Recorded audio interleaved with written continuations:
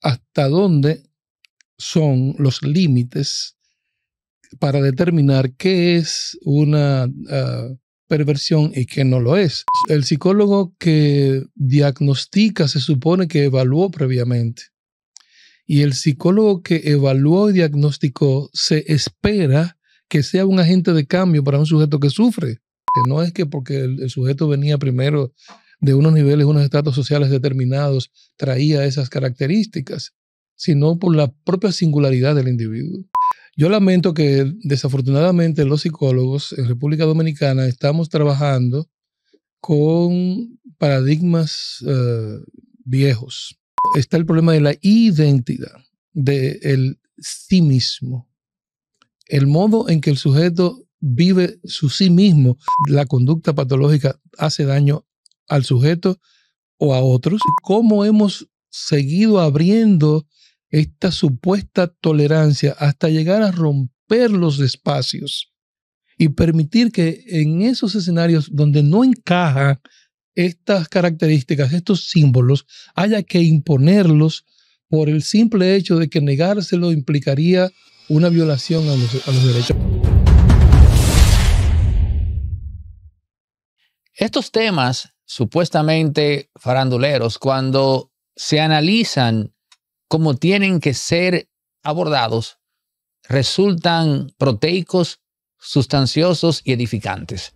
Y eso es lo que vamos a hacer justo ahora en Impolíticamente Correcto con el caso del momento, uno del cual están hablando hasta académicos.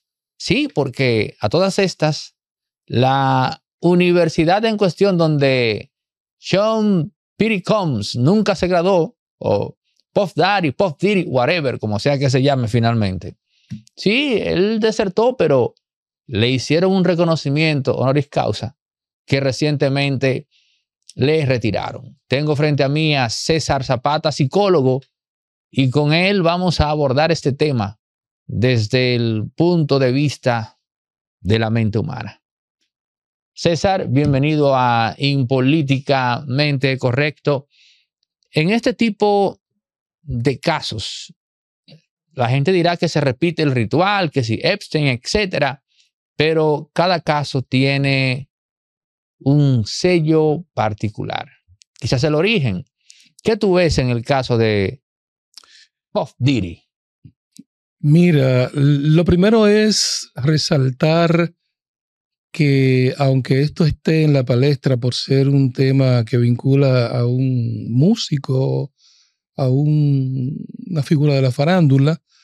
Esto, de manera underground, estas cosas ocurren con mayor frecuencia de la que uno pueda imaginarse. Y esto también tiene un sello, me parece a mí, si se quiere, hasta de clase social. Porque em, a nivel de, clase alta hay una serie de prácticas que si uno volviera otra vez a repasar el tema de las ah, perversiones sexuales, se preguntaría hasta dónde son los límites para determinar qué es una ah, perversión y qué no lo es. Hasta dónde son los límites de la llamada tolerancia, que es lo que está de moda hoy entre los, ah, eh, esta nueva sociedad, que ya más adelante quizá podremos tocar el tema. La posmoderna. Eh, sí, una posmodernidad que yo digo que nunca ha existido en realidad, porque es solamente una especie de desfondamiento de la modernidad.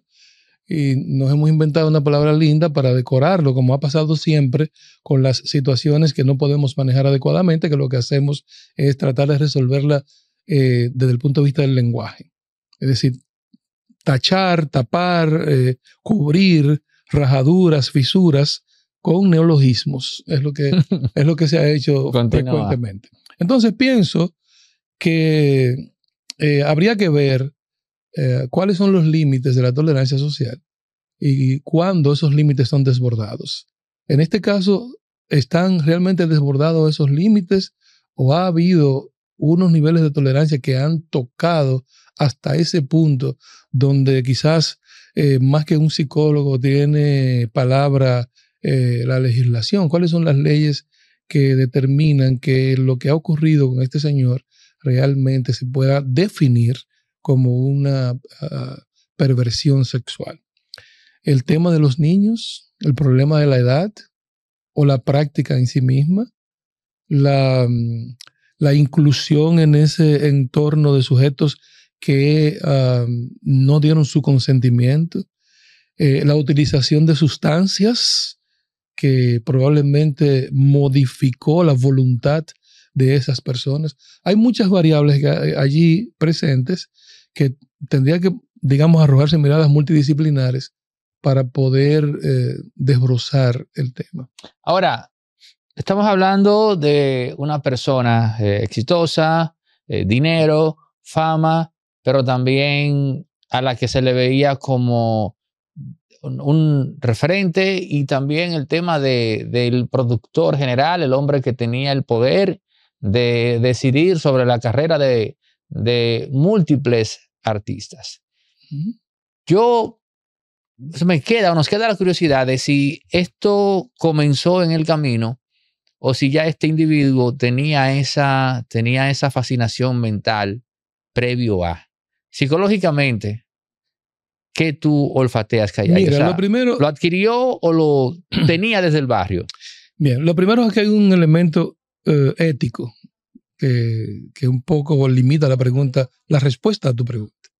Ese elemento ético tiene que ver con ah, los tres factores de la clínica, de la psicología clínica, que son evaluación, diagnóstico y tratamiento.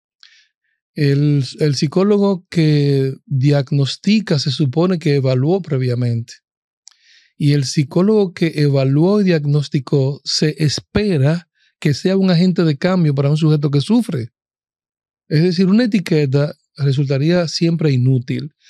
Por eso, en, eh, el caso mío, yo trato de hablar en, términos generales y no de manera específica de alguien.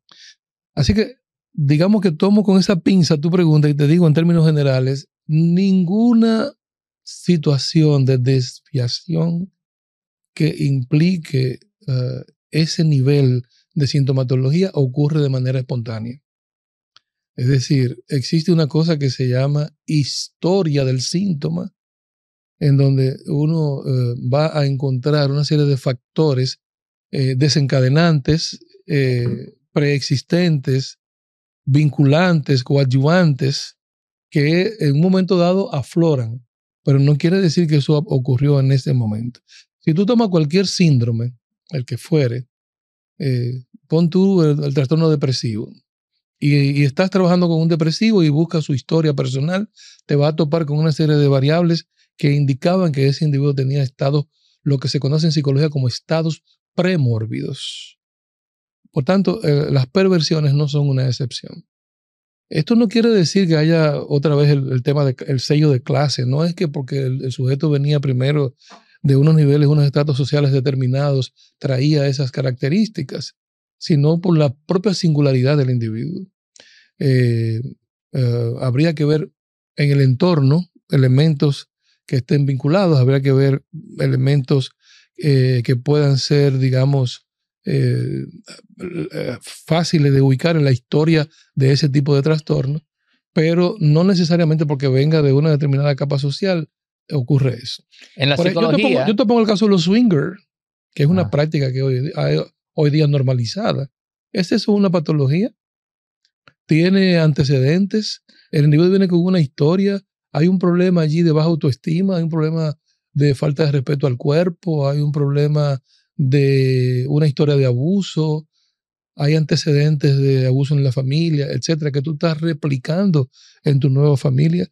Es un tema eh, verdaderamente serio y que lo pongo en la mesa porque, eh, eh, sin evadir tu pregunta, creo que siempre hay que explorar en la historia del paciente elementos que son coadyuvantes al problema y que generan estados de premorbidez.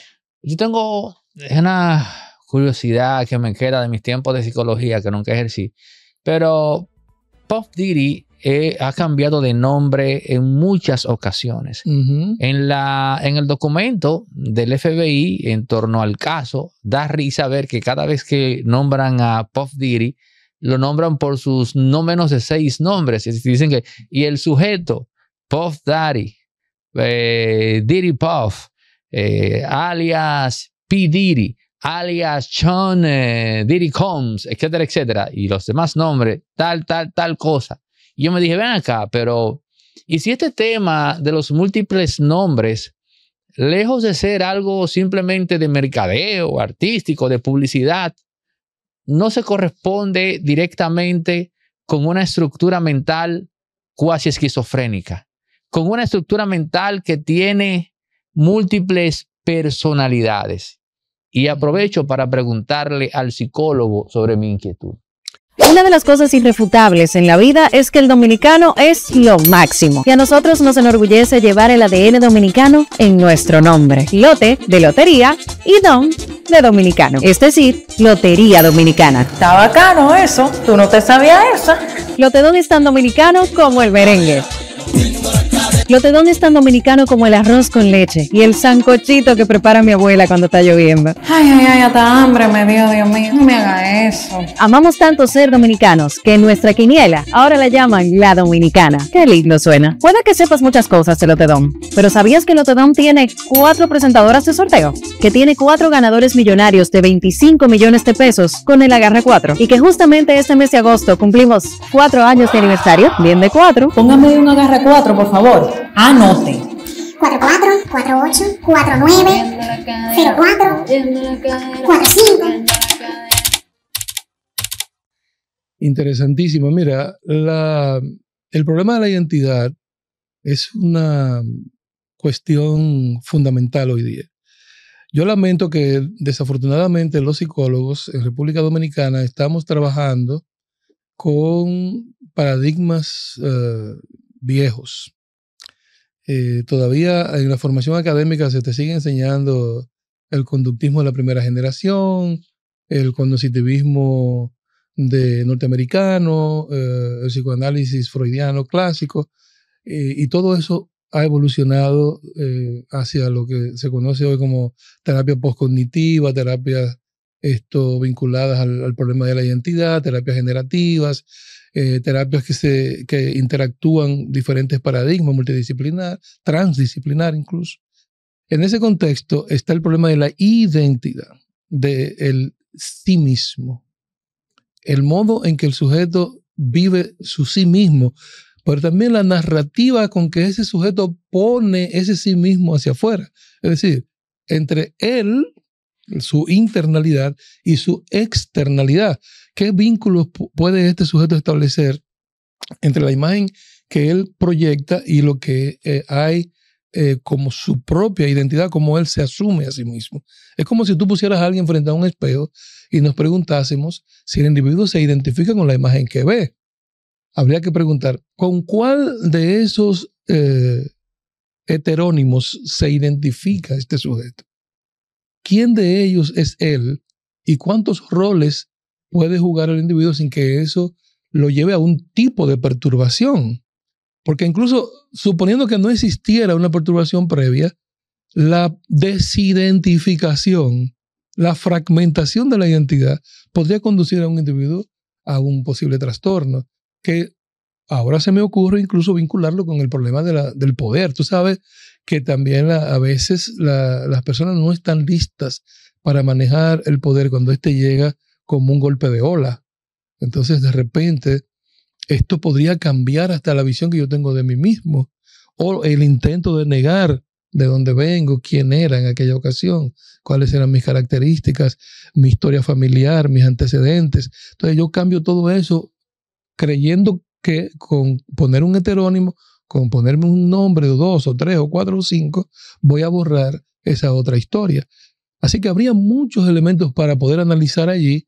Eh, sería un caso eh, envidiablemente interesante para cualquier psicólogo clínico poder auscultar qué hay detrás de esos eh, diferentes nombres y cómo el individuo logra identificarse, cuál de ellos soy con cuál de ellos me siento cómodo y cómo me impacta a mi, a mi seidad, a mi condición de mí mismo, el tener que bregar con tantos heterónimos. Oye esto, en las acusaciones que hay preliminarmente y en el documento del FBI, se habla de que él, por ejemplo, trajo tráfico de personas, por ejemplo, para fines íntimos, esa es una. Mm. Pero también el hecho de inducir a personas a intimidad bajo el efecto de sustancias. Ahí hay dos. Y hay un tema que todavía no, como que no termina de cuajar. No hay una especie de acusación formal con eso, que es el tema eh, con figuras del tipo Justin Bieber. Aunque lo de Justin, eh, la gente como que ha ido cabos en sí por los retazos de las cosas, que la foto aquí con Ocher, que él tuvo un par de días con Puff Daddy, que después de eso Justin no fue el mismo, que tuvo una etapa oscura, que ahora es cristiano, no sé si sabes esa secuencia de... O sea, la gente, no, pero espérate, ¿verdad? Que él estuvo en la casa de Puff Daddy, que lo llevó, ese fue otro nombre de él, Puff Daddy, eh, que lo llevó, eh, lo llevó Ocher para allá dos días y después de eso Justin se puso como medio oscuro, después se desapareció y ahora apareció siendo cristiano. En fin, pero ya esta pregunta. Todo, suponiendo que esas acusaciones sean ciertas, porque tenemos que darle el tema que el de la presunción de inocencia. Pero bueno, suponiendo que esto, que lo que plantea el FBI en ese informe o el Distrito Sur em, sea cierto, estamos ante un tema de enfermedad mental o simplemente ante un tema de falencia moral. Primero aclarar una cosa importante que ha pasado aquí con el peritaje. Cuando un psicólogo clínico, un especialista, eh, es citado para casos judiciales, se cree que el psicólogo lleva alguna estrategia bajo la manga que va a atenuar la culpa o, o la posible penalización del, del- del sujeto, ¿verdad? Del acusado. Pues resu- resulta que no es necesariamente así lo que se mide es el nivel de responsabilidad del sujeto en los hechos y su nivel de conciencia de los actos realizados y sus consecuencias. No el hecho de que yo le ponga una etiqueta. Te voy a dar aquí eh, en tu programa una primicia que probablemente me acarreará a mí algunas eh, eh, protestas. La única entidad que hay en República Dominicana para bregar con el tema de eh, modificación de conducta para agresores mm, eh, en violencia de- familiar, evado, eh, adrede la palabra violencia de género, porque la violencia no tiene género. Eh, la violencia familiar es cuando se presenta en el escenario de la familia, cuyas víctimas no son solamente mujeres, sino también los niños y el propio agresor y la familia del agresor terminan victimizados por lo que se llama la espiral de violencia. Esa entidad que trabaja para esto, digamos que atenuar la violencia, eh, adrede en las evaluaciones que se le hace a, los, a las personas que participan en el programa, no se le coloca eh, trastornos de personalidad, asumiendo erróneamente que eso atenúa cualquier responsabilidad eh, penal, lo cual es absolutamente falso desde el punto de vista del peritaje. Es decir, el individuo, independientemente de que tenga o no algún tipo de patología, no quiere decir que eso lo va a eximir.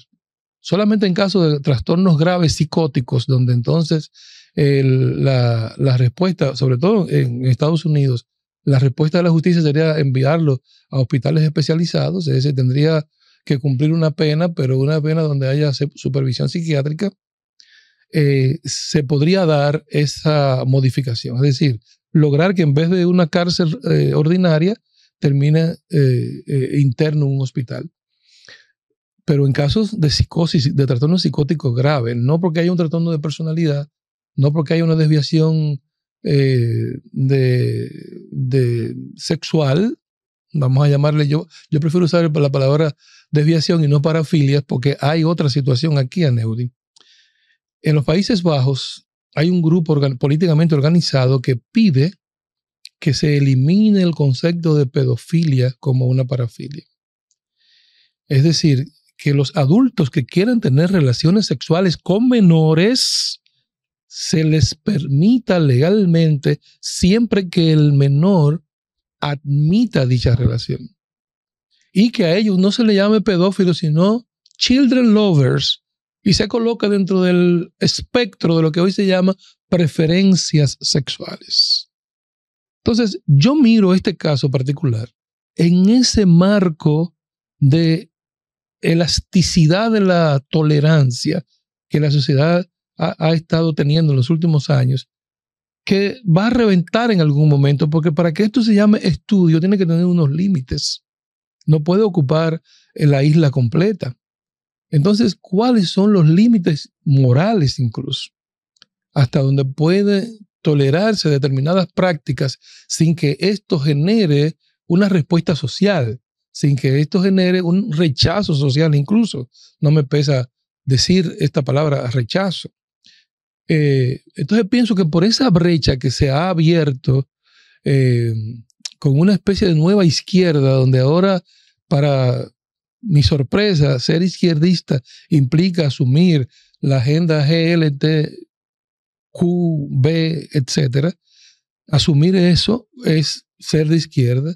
Ha abierto una serie de espacios de tolerancia que eh, me parece a mí no tienen límites. No hay bordes específicos de hasta dónde, eh, dónde comienza dónde terminan los principios morales, que yo creo que son imperativos, a propósito del imperativo categórico, son imperativos irrenunciables para poder, para que pueda haber convivencia, para que pueda haber eso mismo que ellos eh, defienden y definen como eh, aceptación de las diferencias. Puff Diddy, un enfermo mental o un degenerado.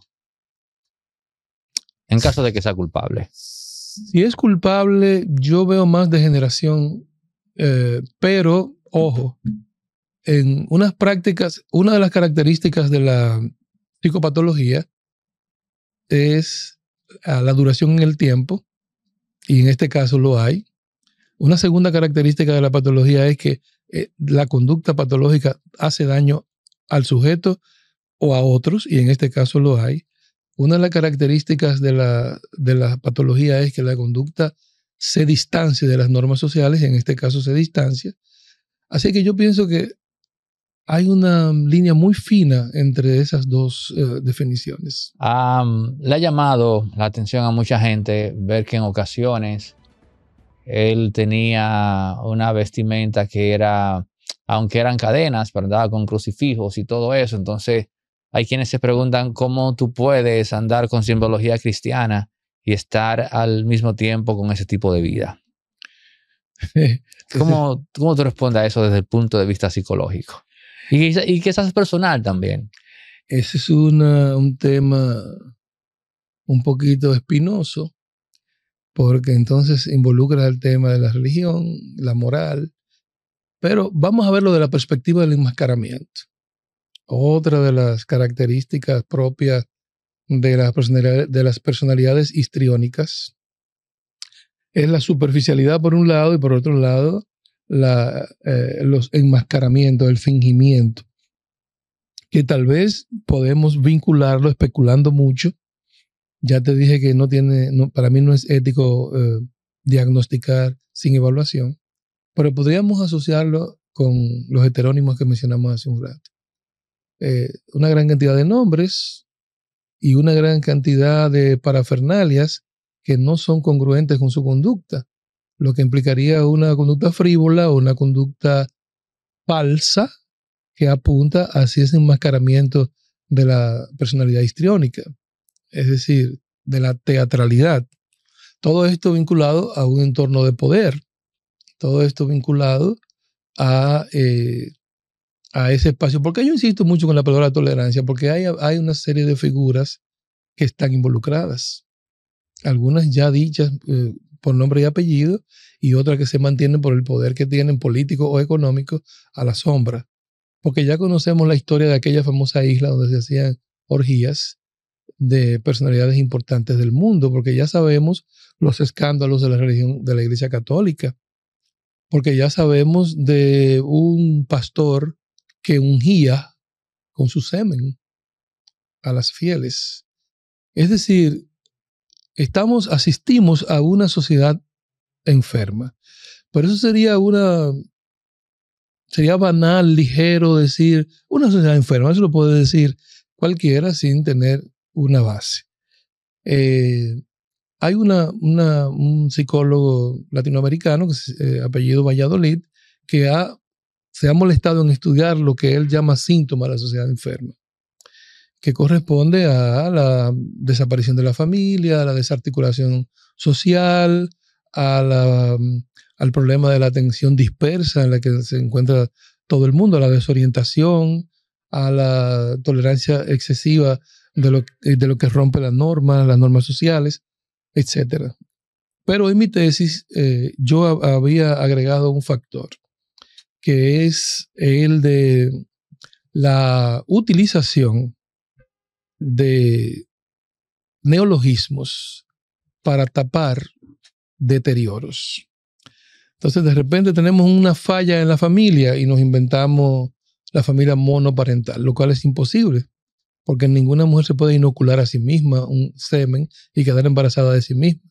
Por tanto, no hay ningún niño que tenga una familia monoparental. Siempre habrá dos padres, aunque uno sea irresponsable o violento o inexistente o etcétera, lo que tú le quieras agregar, pero existe. Eh, no hay, por tanto, no hay monoparentalidad.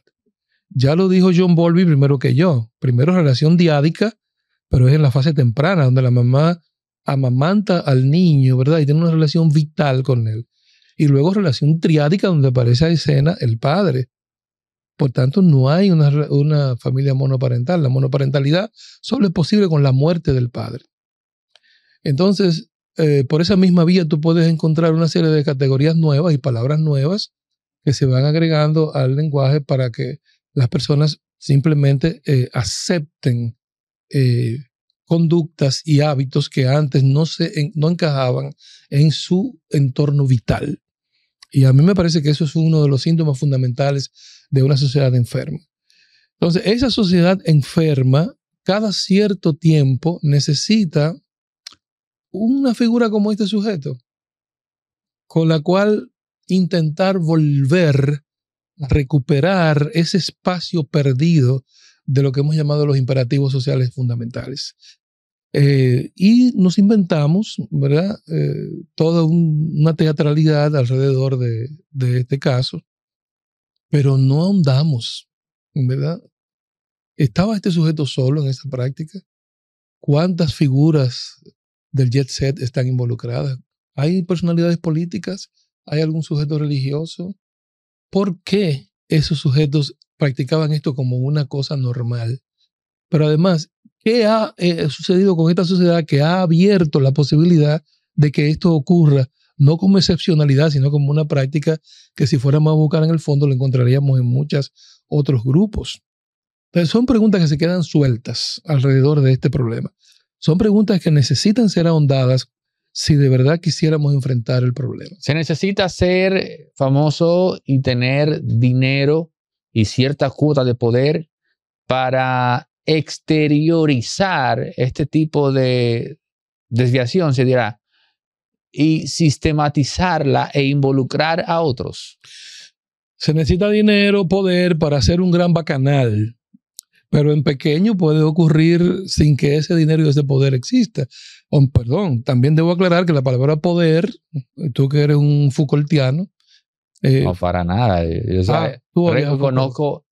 Conozco, su influencia en el pensamiento occidental, pero entiendo que la implementación de las mismas nos, nos ha llevado a esta degeneración moral que tenemos hoy día. Desde su, Ah, concepción, desde su concepción de las palabras que él tiene, sí, por solo citar un caso, sí. eh, yendo por ahí, hasta, por ejemplo, incluso esa formulación que él hace del poder cuando él redecúa la frase aquella de que, de que el conocimiento es poder, pero el poder también es conocimiento, o que el poder tiene, el poder como saber. tiene, tiene- su El forma de, saber como eh, poder. esa- forma de conocimiento, todo eso aplicado lo- ha sido malo para el ser humano. Pero yo pienso, Digo, no sé qué yo pienso que las eso. filosofías dependen. Ahí- ahí- perdona, ahí vi que mi hija agarró de la biblioteca y se llevó par de libros de Foucault para leerlos. se llevó la palabra y las cosas. las palabras y las cosas. Que y tiene un ensayo muy interesante sobre las meninas de Bueno, Velázquez. bueno, bueno, se, se llevó dos libros de Foucault y los tiene ahí en su. Yo digo, bueno, Mira, eh, el problema de Foucault, eh, Primero, es, eh, es una cuestión de territorializar el discurso. Eh, en este caso, el tema del biopoder, ¿verdad? Yo pienso que lo ha aprovechado una determinada comunidad, pero lo ha distorsionado. Lo ha distorsionado, porque el, el biopoder no es una receta.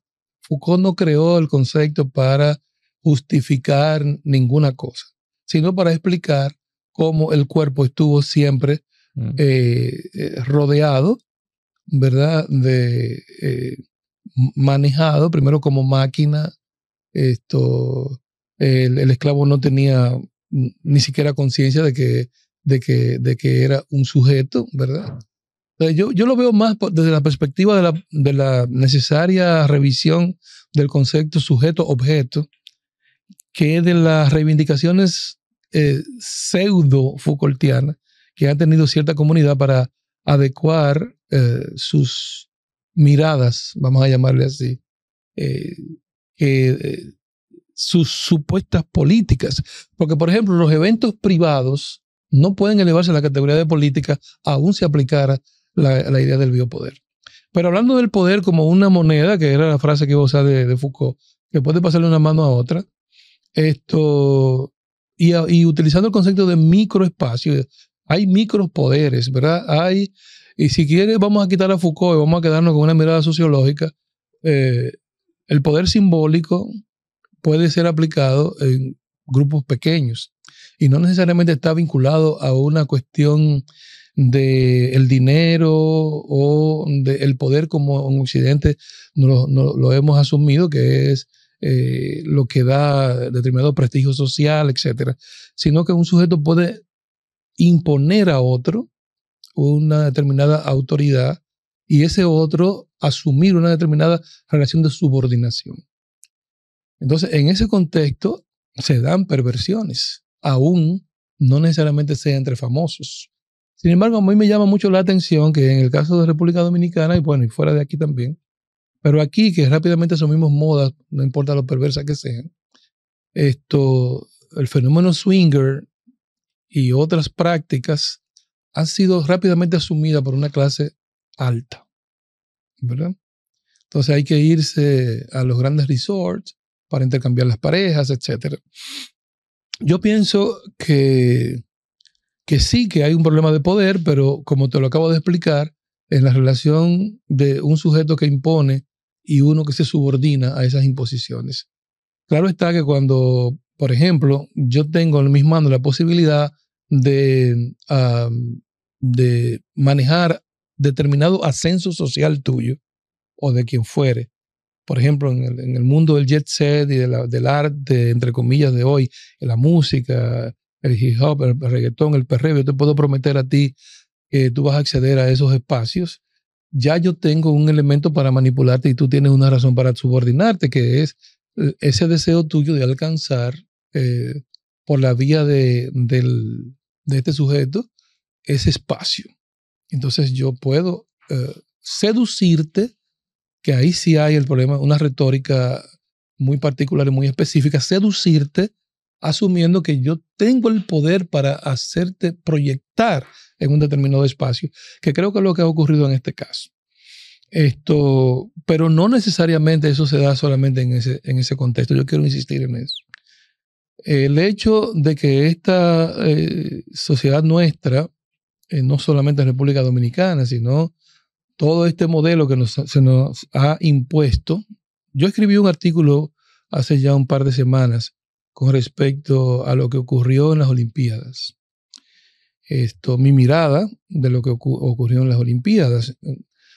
Da igual que el, el espacio que ellos querían montar fuera para el dios Baco o fuera una caricatura del dios cristiano, eso da lo mismo. Eso no es lo importante. Lo importante es que el escenario definitivamente no tenía absolutamente nada que ver con el bacanal. Eso es lo que importa.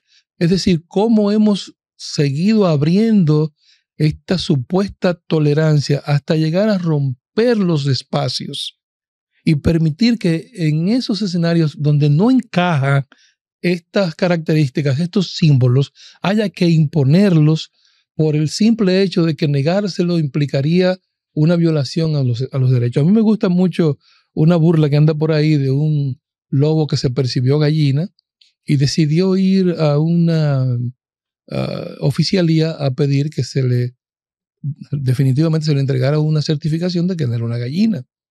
Con esa certificación fue al gallinero, dijo al, al, señor de las gallinas, mire, yo soy una gallina, así que debe aceptarme en el gallinero. El señor, para evitar las consecuencias, ¿verdad?, de que se le dijera intolerante, acepta a, este animal en el gallinero y simplemente no ocurrió nada excepto la desaparición misteriosa del resto de las gallinas. Entonces yo pienso que eso que parece una simple charada es lo que ha ido ocurriendo. Estamos minando los estamentos fundamentales de un sistema social sin saber qué es lo que va a sustituir eso. Estamos en una fase de pero no son destruir, construir. No veo el vínculo entre destruir, construir, que es la base del concepto de deconstrucción, sino que lo que veo es una simple desarticulación de lo que hay sin establecer claramente qué es lo que vendría. El mejor ejemplo es la foto de lo que ocurría en el famoso eh, bacanal que se presentó como evento de las Olimpiadas. O sea, tú ves los variopintos sujetos que están allí y dices, bueno, ¿cómo esto va a constituir una unidad que se pueda llamar grupo social? ¿Qué, ¿Cuál va a ser el tegumento? ¿Cuál va a ser el factor que los une? ¿Cuál es el elemento de interés que los vincule? ¿Y cómo esto va a contribuir a, a avances sociales eh, de qué modo se puede explicar este asunto. Uno está vestido de morado, el otro está pintarrajeado, el otro tiene no sé qué. Es decir, ¿qué es eso exactamente? Bob Diddy es padre de dos niñas y hay muchas fotos de él muy se le ve como muy humanamente satisfecho con sus hijas. Pero volvemos al punto de si es culpable, si es una persona que, que se impone a otros eh, a hacer cosas claro, también tenemos el tema de que hay gente que habrá entrado en ese juego eh, de manera consciente, sin que se le haya aniquilado su voluntad, sino que también le gustaba. Pero el padre amoroso, orgulloso de sus hijas, que a su vez está implicado en esto, ¿qué tenemos acá? Un solo cuerpo, varias personalidades. Fíjate, el trastorno de la personalidad múltiple es un trastorno grave.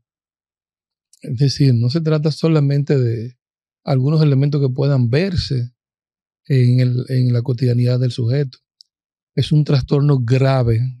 Trastorno grave significa que el individuo asume la existencia real de esas personalidades y actúa como Hyde y Jekyll donde no hay eh, una unidad, sino un deslinde entre esos dos sujetos y donde no hay una voluntad, sino dos o tres o cuatro o cinco.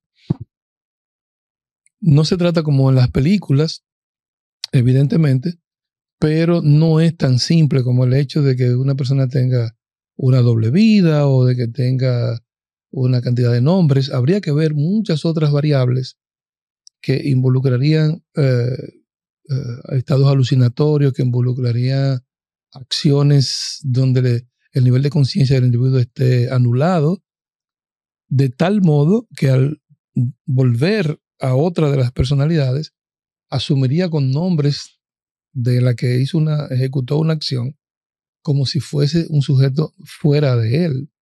Entonces, esa situación disfórica, esa condición disfórica, merecería un estudio más profundo para poder decir que en este caso este personaje eh, podría tener ese problema.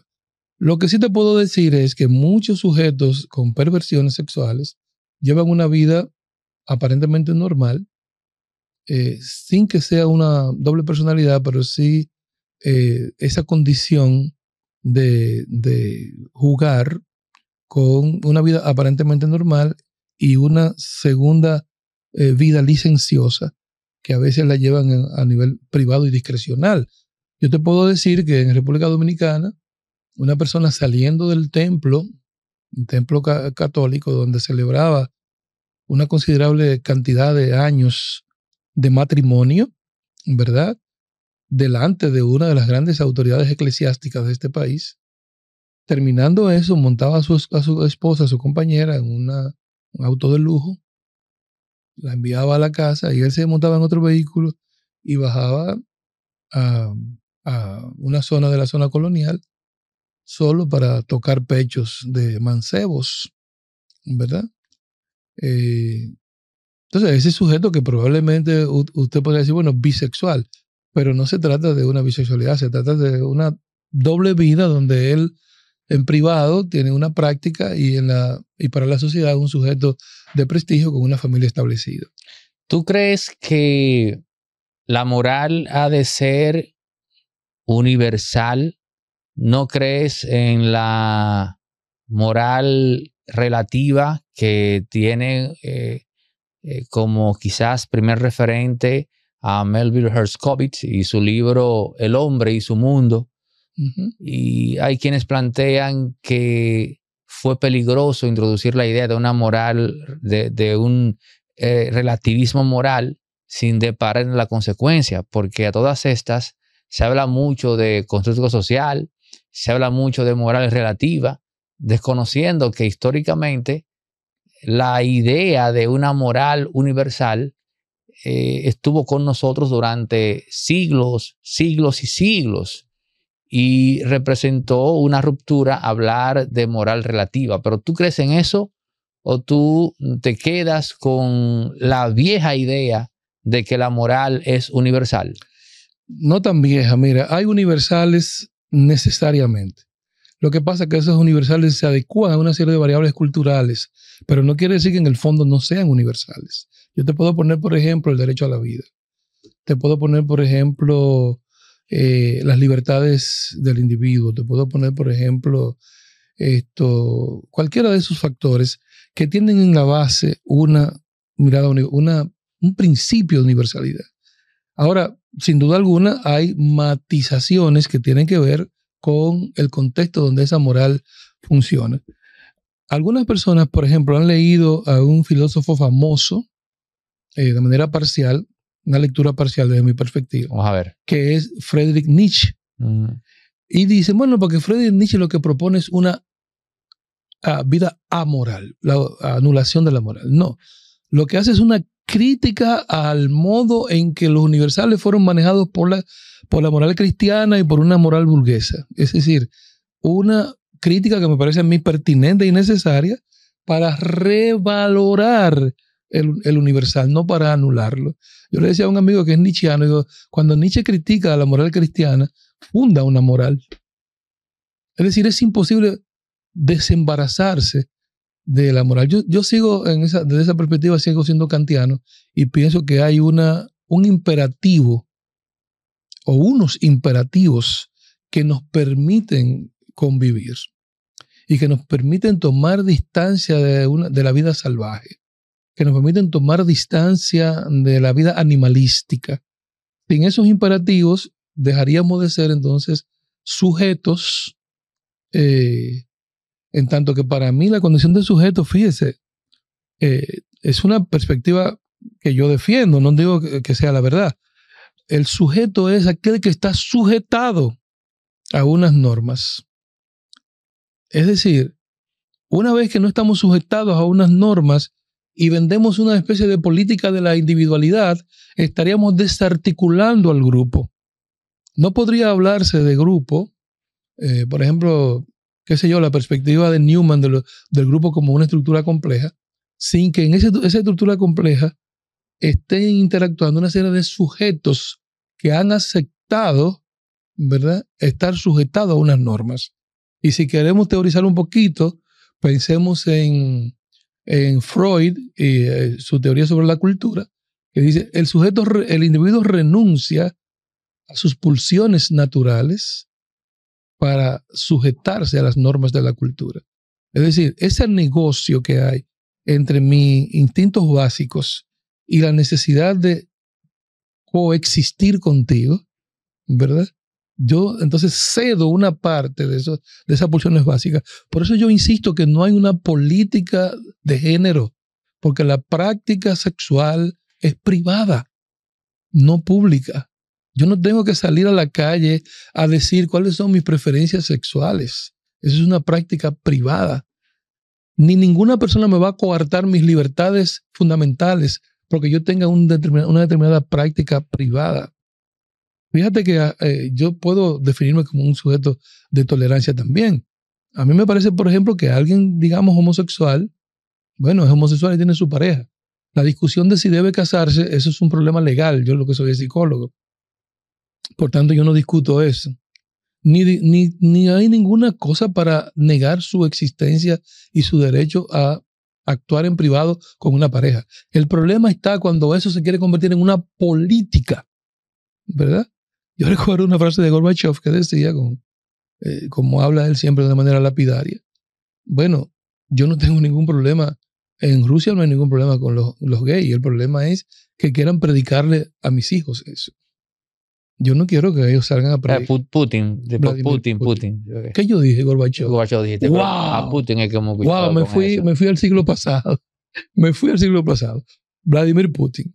Entonces, yo creo igual que él. Yo pienso que eh, esto hay que diferenciar eh, qué es lo que, lo que desafortunadamente esta llamada posmodernidad ha lesionado bas- bastante, que es el problema del deslinde entre lo público y lo privado. Entonces, a, a propósito de moral, creo que hay que provocar ahí una sutura para reparar ese, ese deslinde que es importante entre lo público y lo privado. Bueno, gracias César y a ustedes por estar eh, en esta conversación. César Zapata, un servidor, Anaudi Santos, analizando el tema Puff Diddy desde un punto, una perspectiva estrictamente psicológica. Suscríbanse, activen la campana, comenten, compartan, den like. En pie, hasta el próximo. Resorte Media es también productora audiovisual y aquí tenemos espacios eh, rentables para producir contenido, pero también si tu empresa tiene una actividad fuera y va a hacer una transmisión en tiempo real, puedes contar con Resorte Media. También si necesitas alquilar equipos para filmaciones de películas o eventos, tenemos grúas de 40, 20 pies, en fin, otra cosa, artista independiente que tiene que hacer un videoclip en calidad 8K, eh, 6K con imágenes eh, de stock, bueno, pues lo podemos hacer acá en circuito cerrado con los presupuestos más competitivos.